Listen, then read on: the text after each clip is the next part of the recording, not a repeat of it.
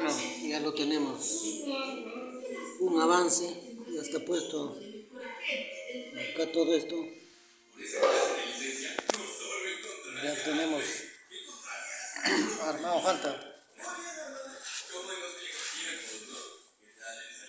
Falta poner el motor todavía.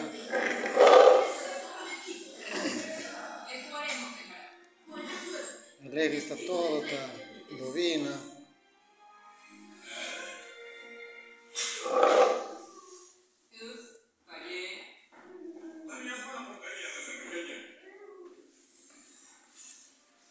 es una eléctrica.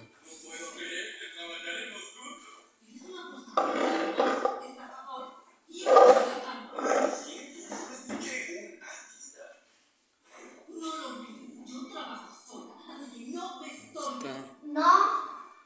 Ya falta poco, estamos con 60%.